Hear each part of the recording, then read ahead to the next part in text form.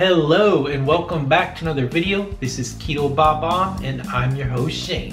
Mm-hmm. And in today's video, I'm gonna share with you one of a handful of WeChat hacks I have in store for you. Oh yeah.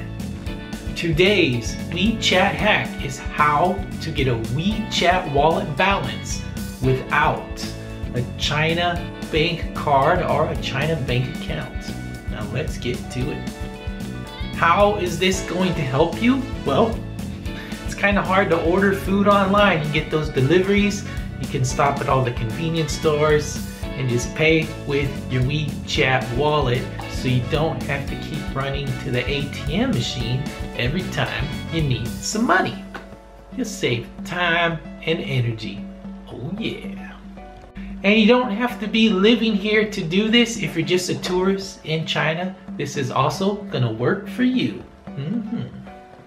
So without any further delay, let's go ahead and jump into today's WeChat hack of how to get a WeChat wallet balance. The first thing you need to do is have a friend add a you to their WeChat contacts list. Then after that, they're going to access you just like they would be sending a message, only this time they're going to transfer money to you. Yes.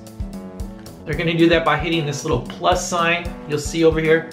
And you'll notice two options to send money. One is a red packet.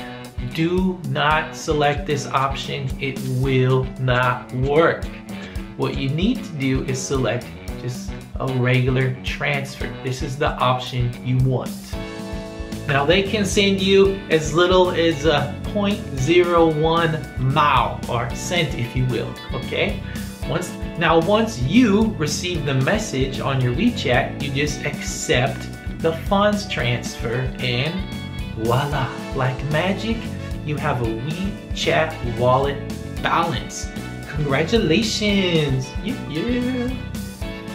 And that's all I have for today's video. Make sure to hit that like button, comment, subscribe, notification bell, and I will see you in the next video.